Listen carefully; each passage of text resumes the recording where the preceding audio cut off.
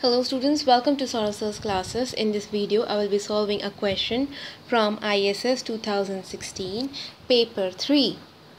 Now here we have to explain the identification problem in a system of simultaneous equation and then we have to state the rank and order conditions for identifiability of the equations. Now first, what is the identification problem of simultaneous situation? Now what happens is that in simultaneous equation system we have two or more equations. So in this simultaneous equation system simultaneous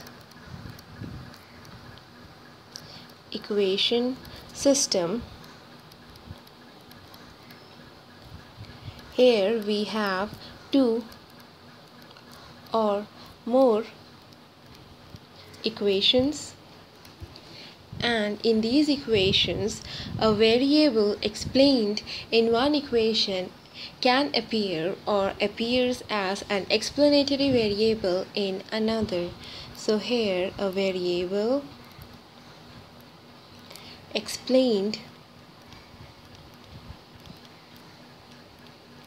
in one equation one equation they appear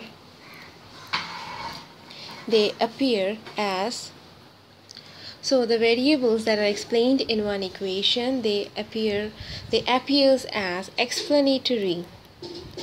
Explanatory variable variable in another equation another equation so for example, if we have two equations, the first one is y is equals to x1 plus x2 and the next equation is z is equals to y plus x1. So here we can see that the explained variable y in the first equation it is appearing as the explanatory variable in the next equation. So this creates an identification problem in the system of simultaneous equation. Now, in the rank condition of identification, here the equations are identified using the rank condition. So here equations are identified. Equations. So here the equations are identified with respect to. So equations are identified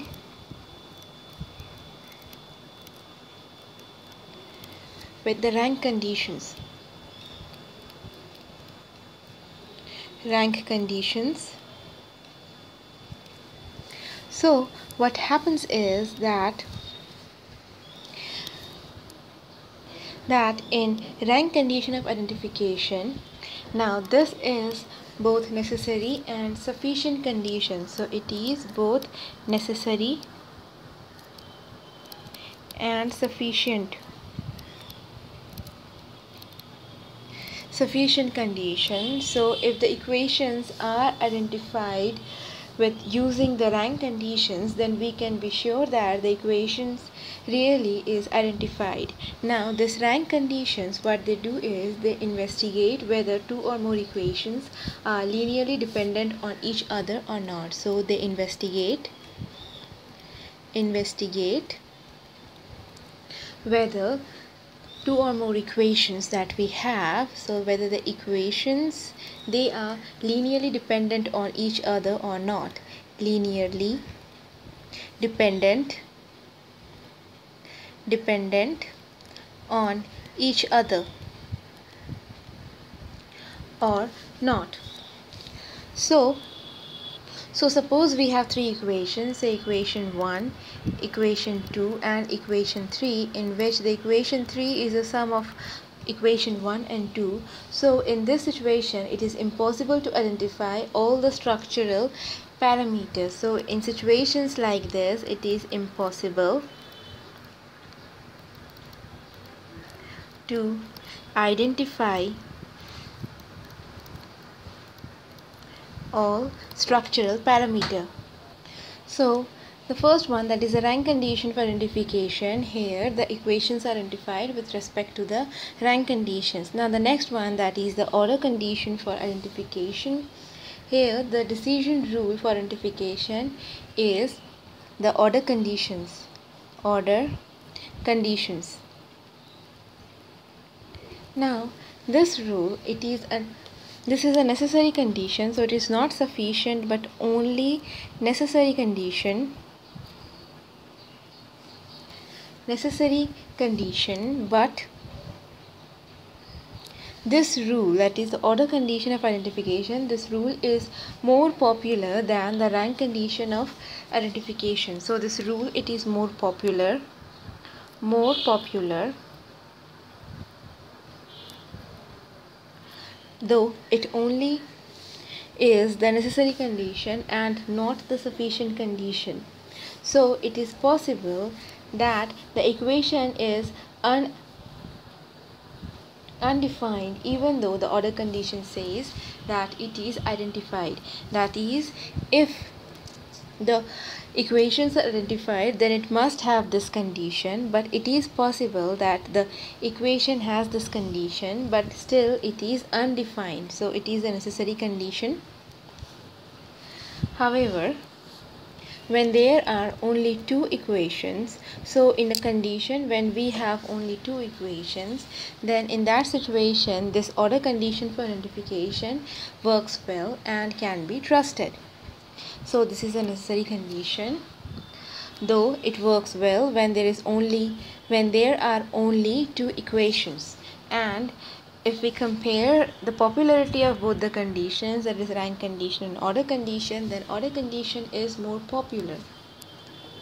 Now here if we define a variable m which is equals to the number of endogenous variables number of endogenous variables so m is the number of endogenous variables endogenous variables that is the number of dependent variables